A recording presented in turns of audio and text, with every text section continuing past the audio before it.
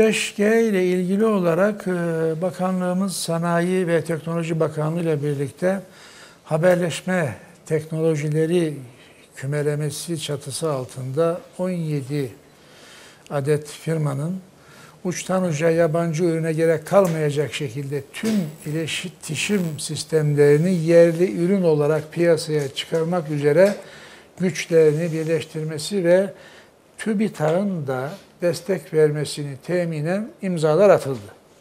Yaklaşık 253 milyon e, Türk lirası yatırım ile gerçekleştirilecek olan bu 5G sistemler tamamen yerli ürün olarak piyasaya çıkarılacak ve Türk Telekom, Turkcell ve Vodafone tarafından da e, desteklenmekte.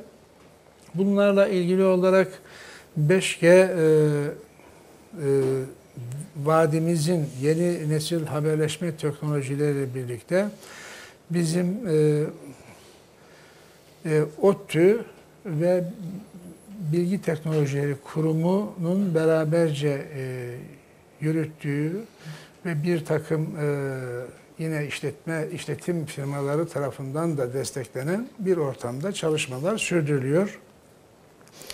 Biz e, bunu dünyada ilk e, kullanan ülke olma e, konusunda programımızı yaptık.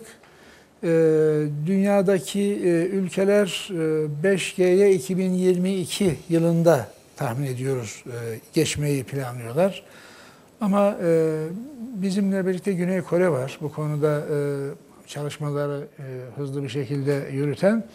Biz 2020 e, yılında 5G hizmetini e, inşallah topluma sunmayı planlıyoruz.